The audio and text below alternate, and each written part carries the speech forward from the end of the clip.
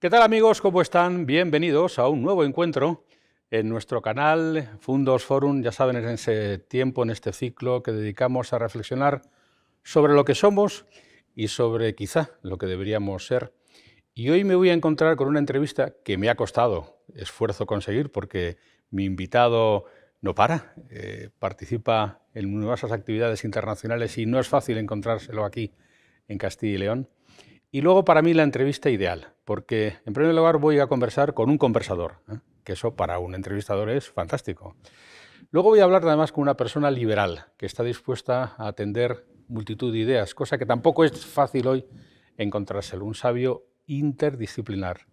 Y luego un catedrático de Derecho Constitucional, una persona que sabe de las cosas que organizan nuestra convivencia cotidiana algo que en estos tiempos que corren también es muy importante. Estoy con el leonés Fernando Rey. Hola Fernando, bienvenido. ¿Qué tal Ignacio? Un placer.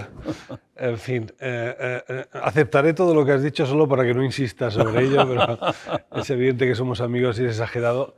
Y además es evidente que tú tienes más y mejor criterio sobre todos estos asuntos que yo, pero te agradezco mucho que me hayas invitado. Muchas gracias. Ya le dije que era un gran conversador. Este licenciado en Derecho por la Universidad de León, premio extraordinario leonés, digo, del año 63, catedrático de Derecho Constitucional en la Universidad de Valladolid, ex consejero de Educación de la Junta de Castilla y León y, por decir algo más, es premio eh, Tomás y Valiente por el Tribunal Constitucional. Eh, Fernando, usted que ha sido político en primera fila, pero además se ha ocupado de la comunicación de la universidad, que además da clases, que además visita permanentemente universidades europeas y vive más en el extranjero que en España. ¿Cómo estamos? ¿Qué momento, qué encrucijada vive en este tiempo Castilla y León? Bueno, eh, pues es una. Me alegra que me hagas esta pregunta. bueno, yo creo que estamos deprimidos. ¿no? Mm. Eh, y esa, hay una parte de culpa de la depresión, es global, porque también estamos deprimidos en nuestro país. ¿no?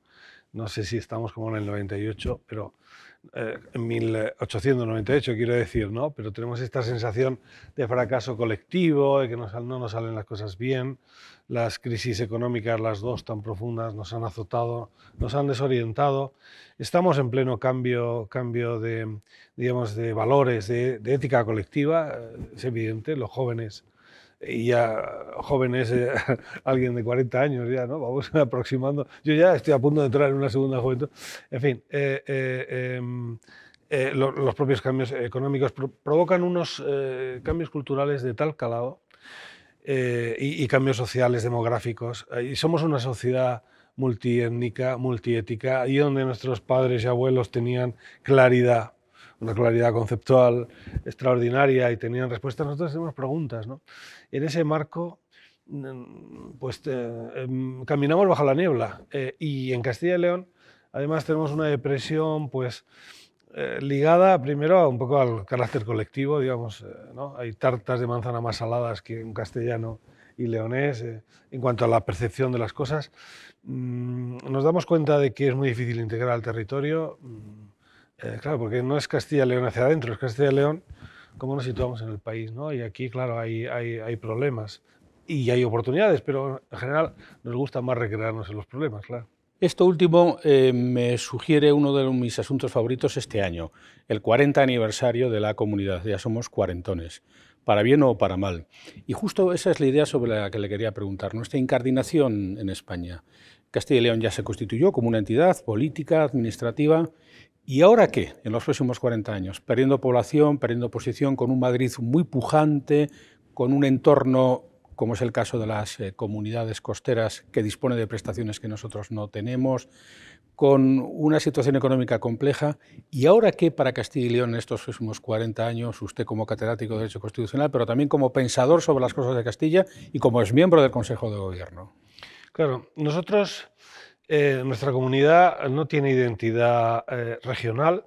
Eh, pensábamos hace 40 años que quizá con el tiempo podríamos adquirir incluso un poco, algo, ni está ni se la espera. Porque en realidad sí tenemos identidad política que se llama España, ¿no? Nuestra comunidad autónoma se llama España.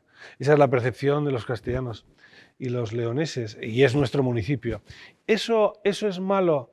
Eso sigue...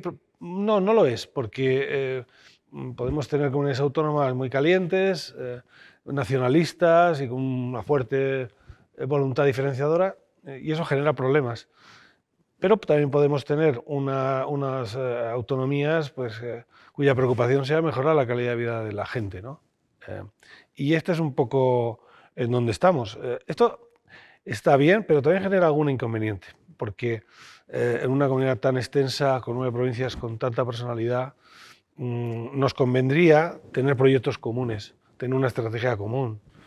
tantas veces se dice, yo lo vi en materia de universidades, está muy bien tener eh, seguramente cuatro universidades, nueve campus, o sea, once campus, tendremos más campus que provincias.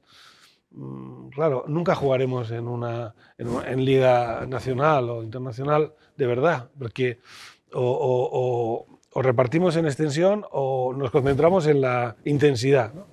¿Qué queremos? Eh, todo tiene pros y, contras, pero eh, tampoco somos una comunidad solo de, sector primario, de agricultura y ganadería. De hecho, va, eh, bajó el porcentaje muchísimo en estos 40 años. Eh, tenemos una cierta industrialización, pero es verdad que está en, este eje eh, Madrid, Valladolid, Palencia, Burgos, ¿no? todo lo demás, pues va a tener que inventarse, ¿no? Nuestro futuro... Aquí, por ejemplo, había una prometedora investigación ligada a la transferencia en temas biomédicos. tendríamos que transformar ese conocimiento en, en empresas. ¿no? Tendríamos que plantearnos qué hacemos en relación a la revolución digital, qué hacemos en relación a los temas la inteligencia artificial. Todo lo que nos viene, ¿no? Eh, tendríamos que posicionarnos justamente ahí. Eh, tendríamos que tener una visión estratégica hacia la innovación, pero de verdad, yo casi me, me, da cosa hablar de innovación, todo el mundo habla de innovación, pero en realidad estamos siempre eh, haciendo lo de, lo de siempre. ¿no? Aquí la inercia nos lastra, ¿no? o, levantamos la mirada o, el futuro desde ese punto de vista no va a ser bueno. De todos modos, a ver, eh, Madrid es el Castilla y León, eh, o sea, es decir, eh, fíjate, Segovia y Ávila son territorios madrileños, naturalmente madrileños desde siempre, pero es que prácticamente toda la comunidad mira, mira Madrid, Madrid, es decir, la realidad social, económica, demográfica es una, y luego la realidad burocrática de fronteras interiores y de comunidades autónomas es otra. ¿no? Tampoco debiéramos perder mucho la cabeza. Tendríamos que ver los procesos un poco más dinámicos. ¿no? En fin, eh, o creamos o, esto se va un poco a paseo. ¿no? Pues esto es el problema que no debatimos, porque hace 40 años el mundo era muy distinto respecto de cómo es ahora, y esto de la innovación y los ciclos económicos no se daban como se dan, pero sí se dio un caso que usted acaba de mencionar que Lamento que no se esté recordando más en este tiempo de 40 años de nuestra comunidad, y es que hubo un intento de que Madrid y Castilla-La Mancha formaran una única comunidad autónoma. No salió adelante porque los castellano-manchegos no quisieron y los madrileños se fueron desairados y decidieron montar su propia comunidad. Pero no habría que revisar las relaciones entre Castilla y León, Castilla-La Mancha, Madrid, toda esa zona nuclear de la península ibérica porque hay ciclos económicos que no están traducidos en realidades políticas, Fernando, y hay mucha gente que interpreta que Madrid, integrado con Castilla y León, sería un activo, pero contrapuesto, en estos términos, no deje de ser la competencia con la que no podemos competir. Totalmente, totalmente de acuerdo, ¿no? Hemos explorado poco en España las relaciones de cooperación horizontales, aunque, aunque luego de modo informal hay bastante, ¿no? Se trabaja mucho, Castilla y León, por ejemplo, trabaja mucho y bien tradicionalmente con, con Asturias, Galicia, ¿no? de Aragón, Castilla-La Mancha. Bueno, lo que dices ya de entrada es, tiene mucho sentido, porque eh, el mapa autonómico que se hizo fue el que se pudo hacer en 1980-81, pero en realidad eh, eh, ahora mismo es bastante disfuncional. Es imposible cambiarlo, pero 17 con ese otro más es, una, es, un, es un tinglado barroco excesivamente. No tiene ningún sentido las comunidades uniprovinciales. Lo ideal sería tener ocho o nueve comunidades autónomas mm, coherentes de territorio, de, riqueza y tal.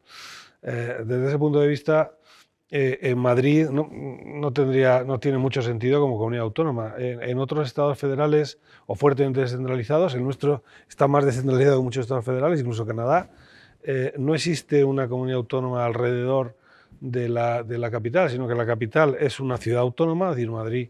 Además tenemos esta figura que tiene Ceuta y Melilla, de ciudades autónomas.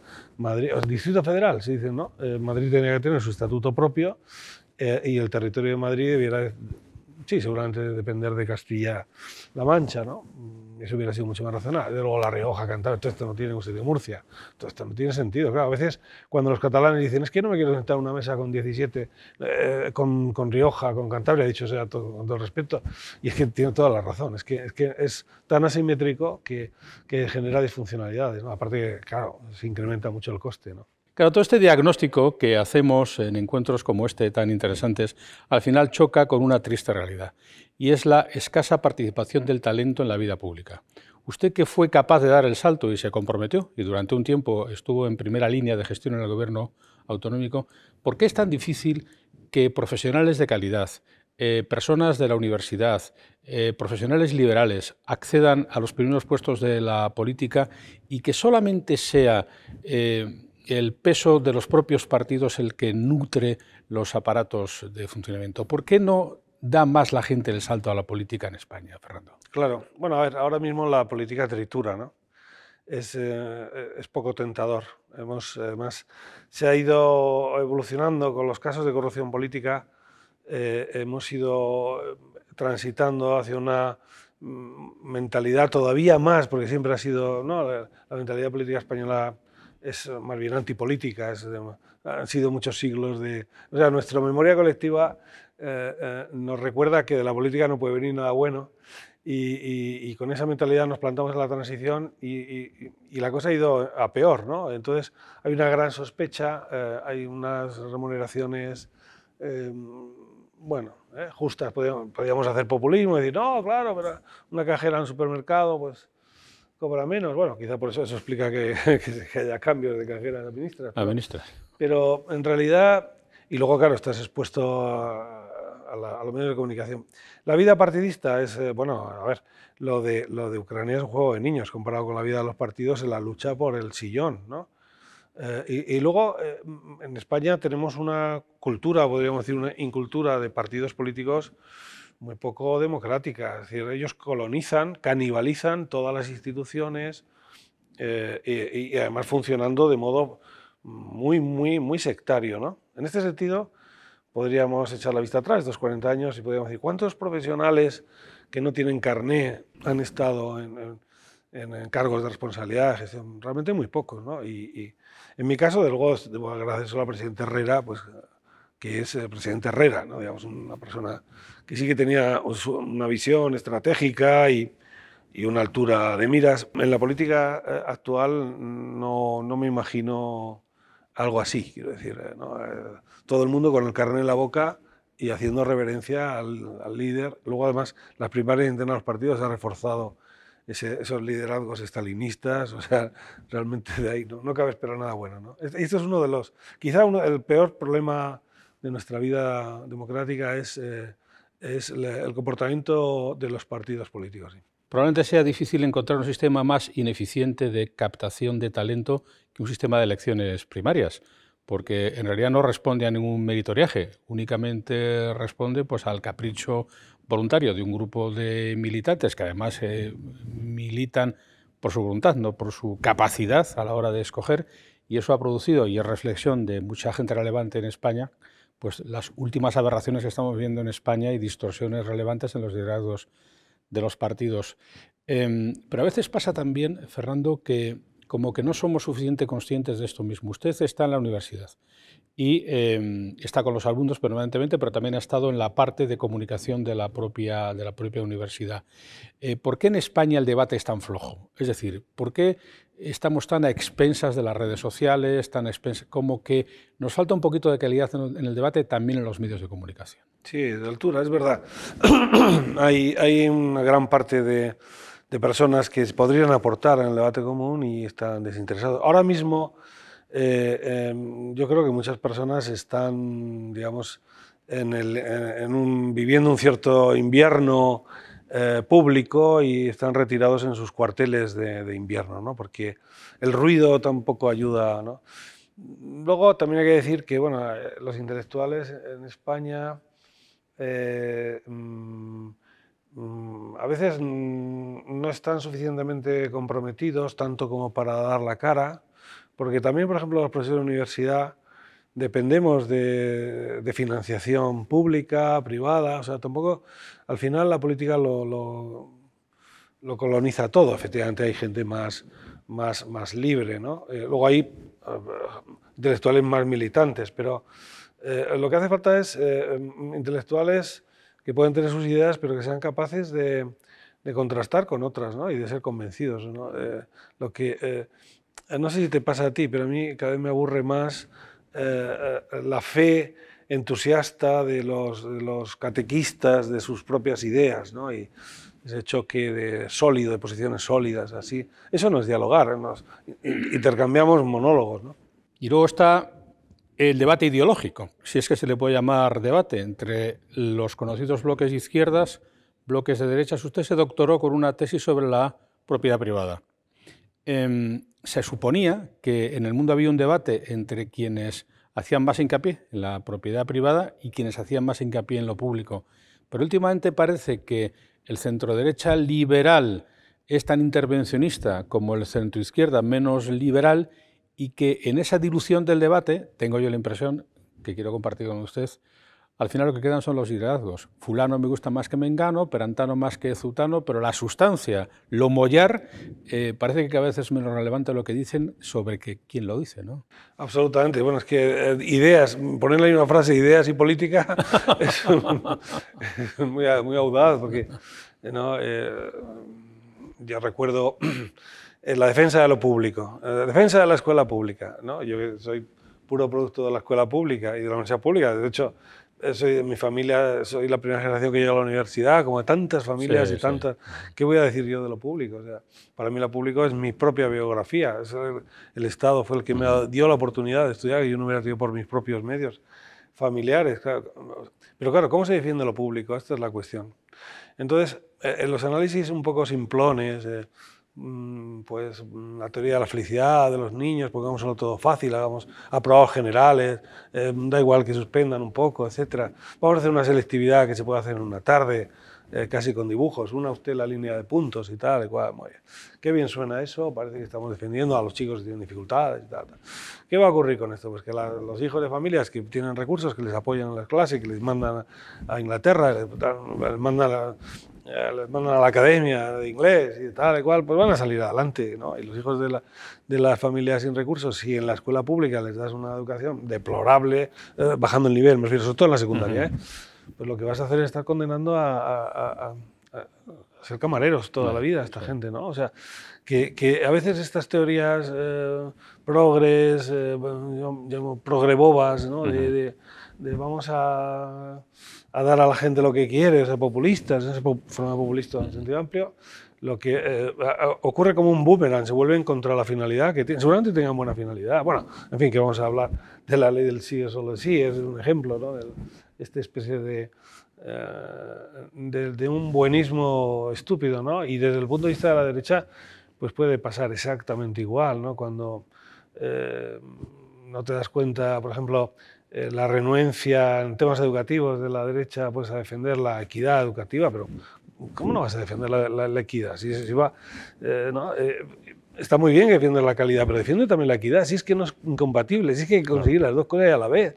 En realidad, vamos a ver, de, los 100%, imagínate, la política es una tarta, pues en realidad solo piensa, por decir algo, un 1% que es el que, el que hace los argumentarios. ¿no? La mano que mueve, mueve, la cuna es el que hace el argumentario, que luego ya todos los demás repiten invariablemente. ¿no? Vamos a hablar de la universidad, que no quiero yo dejar pasar esta oportunidad de contar con Fernando, que ha sido jefe de las universidades, pero que también actualmente en su, en su calidad de profesor, pero también visitante en universidades internacionales.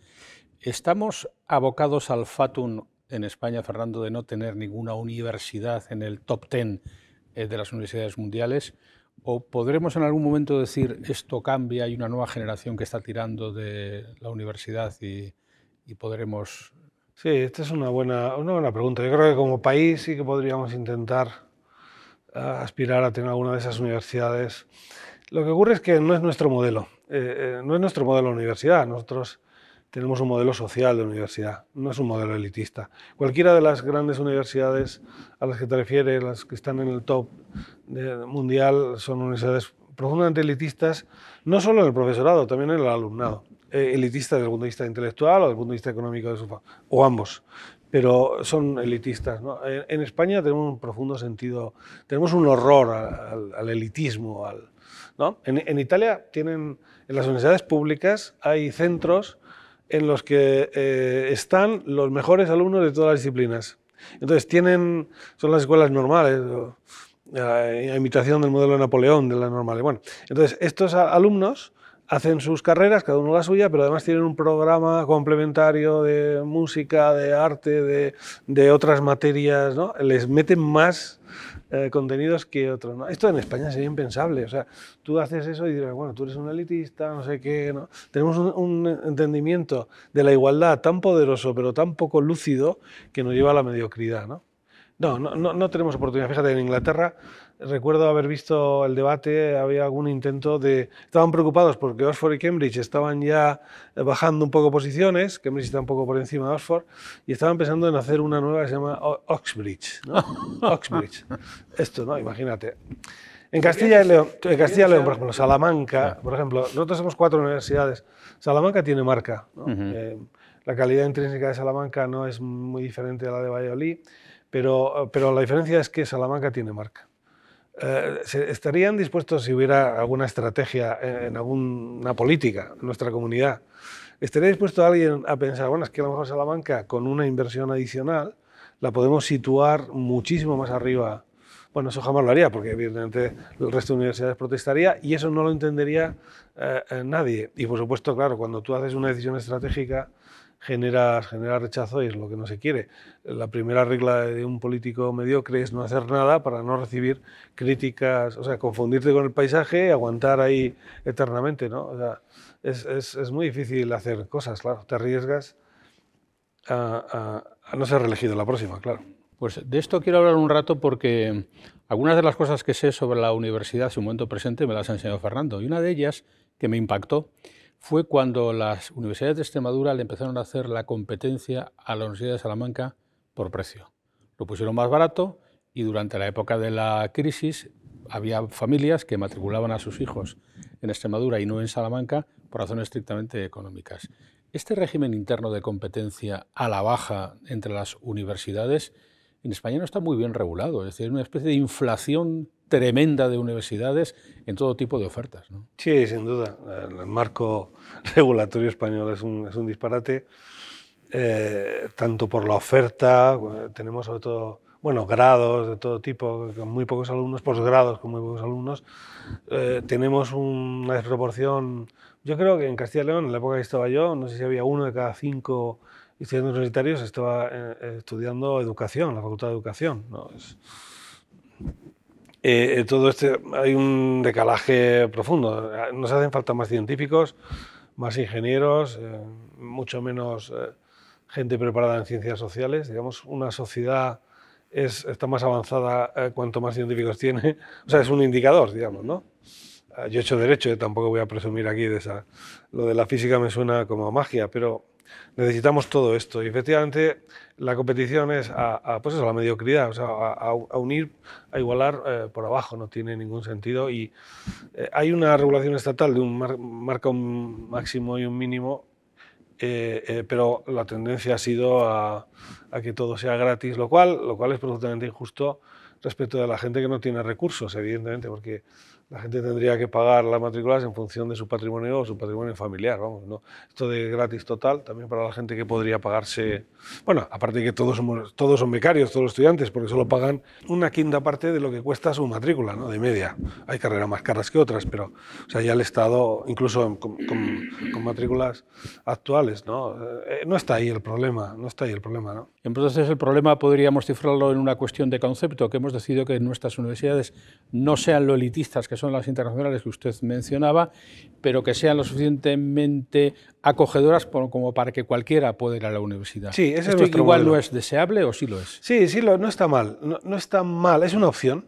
Lo que pasa es que luego no intentemos jugar y utilizar la gramática, la terminología de la élite, las de la India. Oiga, no, no, no sea usted honesto, ¿no? Tenemos un tipo de universidad social y eso está muy bien, porque da oportunidades a todo el mundo de, alcanzar un nivel básico, primero fundamental, ¿no? Luego, la gracia sería como de, toda la gente que pasa por la universidad, captar el talento, ayudar a, alguna gente. Bueno, porque habrá gente que se, titula, se pone a trabajar y es estupendo, ¿no? Pero hay gente mejor que pudiera dar más resultados, pues entonces, ¿qué tienen en Francia? Pues tienen unos institutos nacionales, bueno, conocemos el de la ENA, que es el de la política, pero tienen el de química, tienen el de física y tal, uno por todo el país. Claro, es un Estado central, ¿no?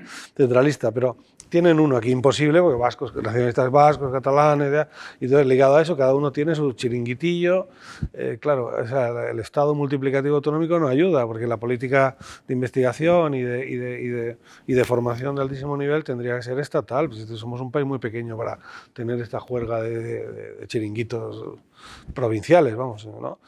O sea, el modelo social no está mal, lo que pasa es que habría que completarlo con, con, una estrategia inteligente de dar cauce a los, a los mejores, ¿no? a gente que pueda tener más desarrollo, para que no tengan que irse al extranjero, básicamente. El problema pues, es que volvemos a lo mismo, y es que para decir que no a la universidad de X lugar, hace falta decírselo que no a personas que luego te van a votar para que tú accedas a su vez a las articulaciones de los poderes.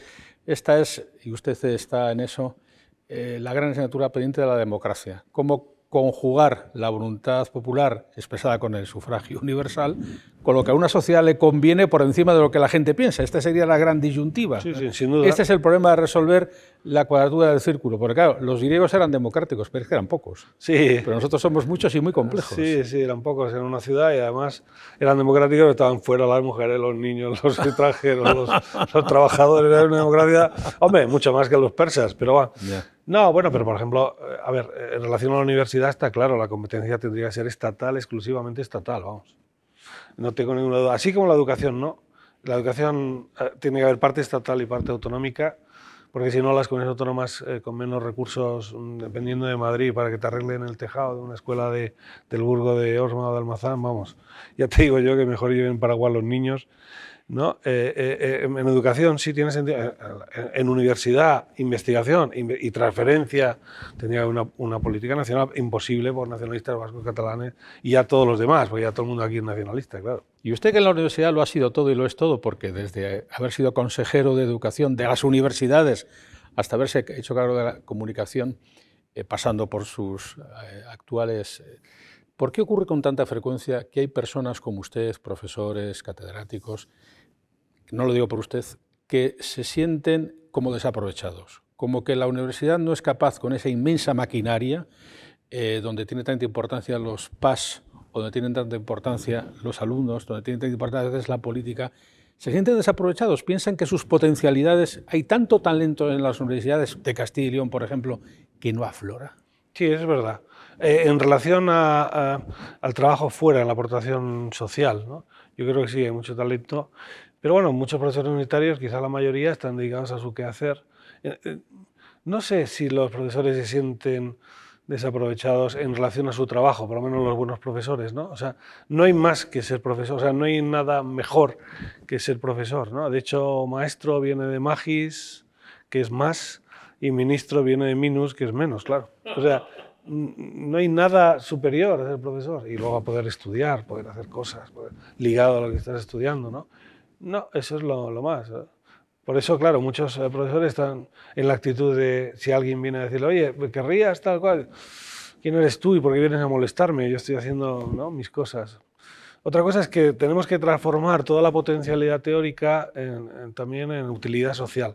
Es ahí donde no vamos muy bien. Nosotros estamos en una cierta Torre de Marfil, aunque luego si hiciéramos un balance de todas las aportaciones, de, qué modo se ayuda a cambios sociales de, otro tipo, científicos, ingeniería, eh, el balance sería sorprendente, seguramente mayor de lo que pensamos. ¿no? ¿Y los consejos sociales de la universidad eh, piensan que como idea fue buena idea, pero que su materialización dejaría que desear o no? Sí, no, absolutamente. Consejo social ¿sabes? es un invento eh, anglosajón y norteamericano. Y tiene sentido allí, ¿no? El, Consejo Social allí, entre otras cosas, eligen al rector eh, y, claro, son donantes de la universidad o consiguen fondos, ¿no? Eh, claro, si un empresario te trae un millón de euros de dólares a la universidad, tiene derecho como a 10 consejos, bueno, incluso a 10 órdenes de la vida de la universidad, ¿no? incluso a poner el rector. Pero claro, tener aquí un órgano eh, que habla, que dice, así más... ¿Qué ocurre? Mm, que efectivamente sí que puede ser muy útil para orientar, para recordar a la universidad que no podemos estar en nuestra torre de marfil, porque hay un riesgo de, meternos ahí a nuestro mundo y estar en paralelo. Nosotros, lo del metaverso ya existe, en la universidad, ya existe hace, hace muchos siglos. ¿no? Sí, es verdad, está bien que nos recuerden, pero efectivamente e, es lo que decíamos antes, si tú tienes una universidad social y tienes una universidad muy administración pública, pues no, es decir, no una universidad anglosajona muy imbricada en el tejido social, entonces, pues claro, eh, estás mezclando, estás metiendo una planta de un jardín distinto en otro y claro, no, no, prospera. No, dicho sea con todo el respeto y eh, al trabajo admirablemente que se hace, pero claro, es un, quedan, quedan en la periferia, no entran en la vida de la universidad. Quiero aprovechar el último tramo de este encuentro con Fernando Rey para hablar un poco de la Constitución, que tanto veneramos que pienso yo que no siempre respetamos con la misma veneración. Y en todo caso, eh, respecto de la que tanto debatimos acerca de su perdurabilidad o su condición de cambio, de, que habría que cambiar algunas cosas.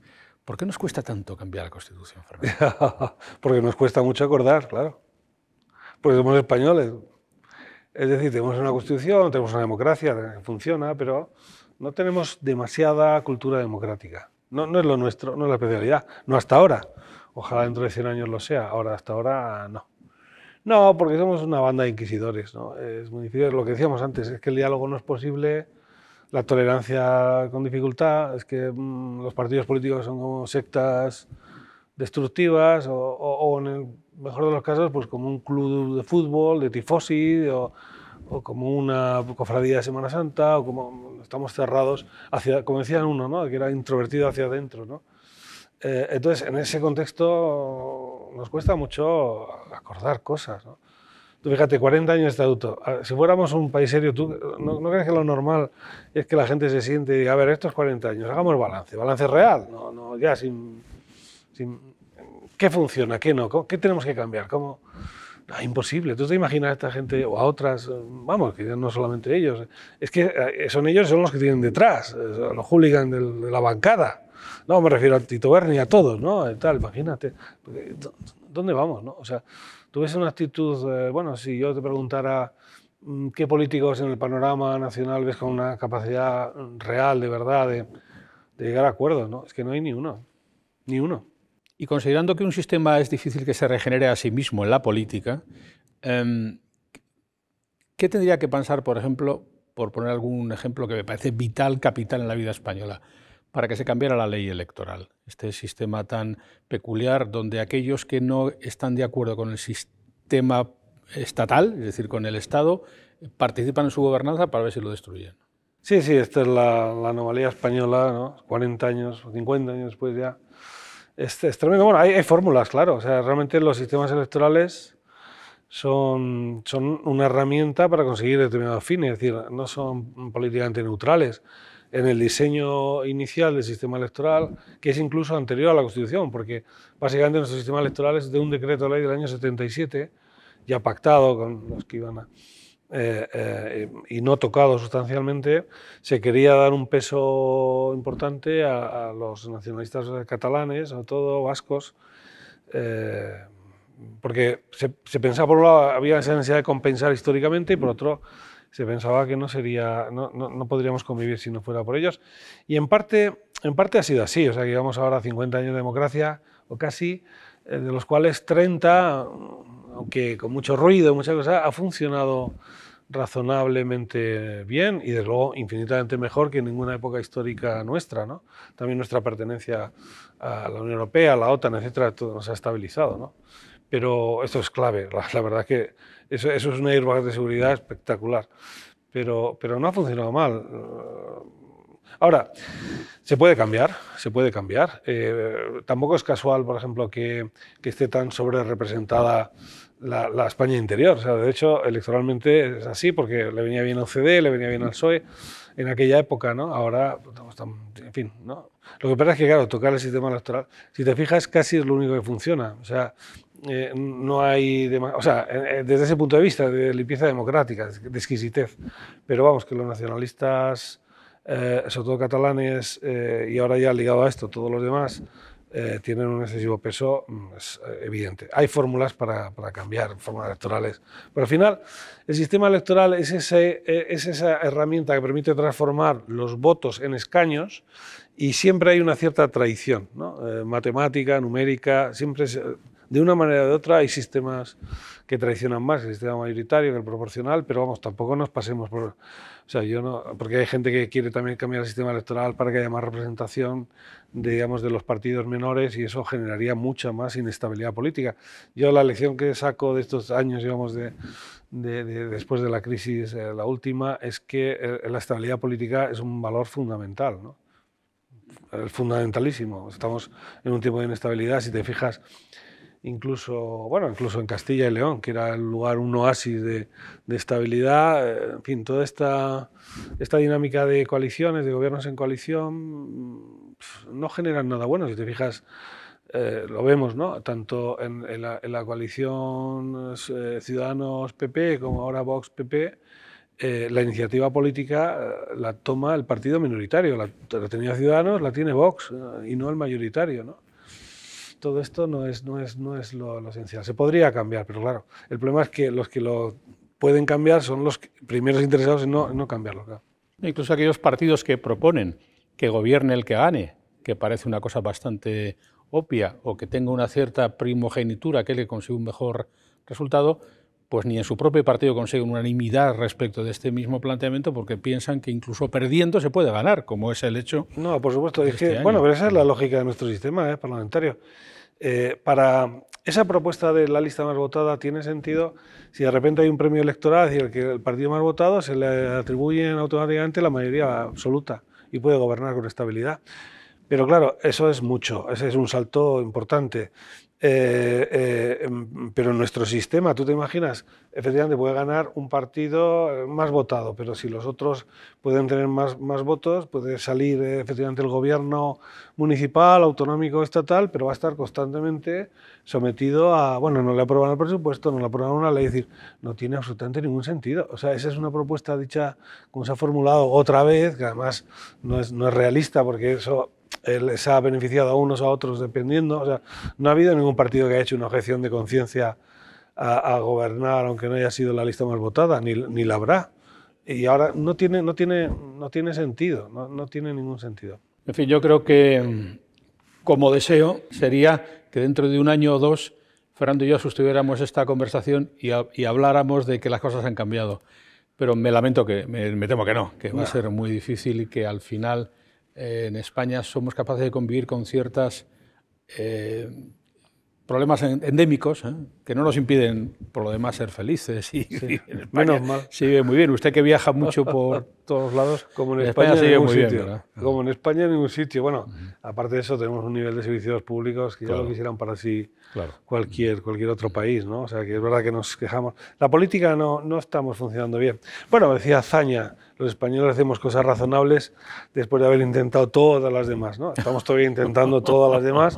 En algún momento vendrá otro ciclo. Espero que los jóvenes lo mejoren. Pero también espero que los jóvenes se aparten de, los populismos radicales. Creo que ya, eh, si echamos la vista atrás, eh, eh, la presencia de ciudadanos que a mí me, me ilusionó, el centro, ¿no?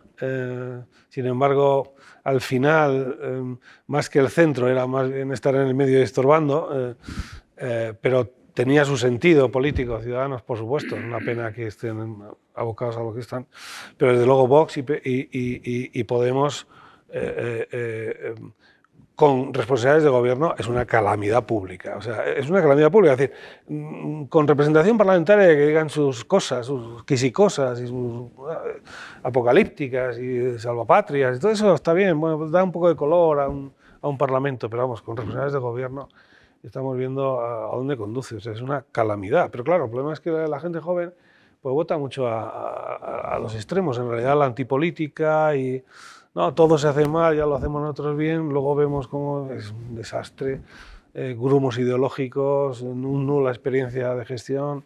Estos, estos, señores, vamos, yo no les pondría ni a, ni a dirigir una comunidad de vecinos, ¿no? ya de entrada, o sea, porque muchas veces el problema no es solamente los grumos ideológicos que no, no tienen un pase de racionalidad de ningún tipo, es que además son profundamente ignorantes de la cosa pública, de cómo funciona. Yo me imagino a estos de Vox o a los de Podemos cuando llegan a su despacho oficial y se encuentran con todo el tomo de, de la legislación de contratos, o de cómo se contrata a personas en la misión pública, o de cómo son los procesos, y bueno, me imagino que les da, bueno, lo extraño es que no les dé un ictus cerebral allí mismo, ¿no? De verdad. Bueno, como ácratas se reirán del montón de. Sí, sí, en el fondo sí. Yo creo que, yo, de hecho, los ciudadanos oímos las risas de, de, esta gente de lo bien que están. No iban a soñar. Fíjate, Fernando, que cómo funciona esta analogía del centro. El centro es la diana sobre la que todo el mundo intenta impactar sus dardos. Y en España históricamente los últimos 40 años ha sido así, desde el PDP hasta las operaciones liberales, pasando por la última de Ciudadanos.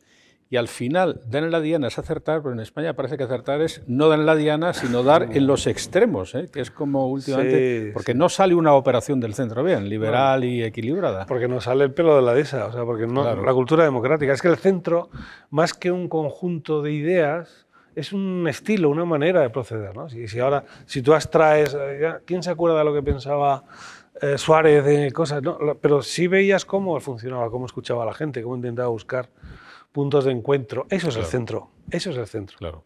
Y eso es justo lo que no hay, claro. Y por eso España... Es decir, eh, tú ves lo que dicen de, de la Posidonia en el Mediterráneo, que si no hay Posidonia el mar está contaminado. El hecho de no tener centro es que el, el mar político está contaminado. Sí, sí, está claro y cuesta mucho identificar ideas que sean comunes para mucha gente. Tenemos que terminar, que el tiempo se nos acaba.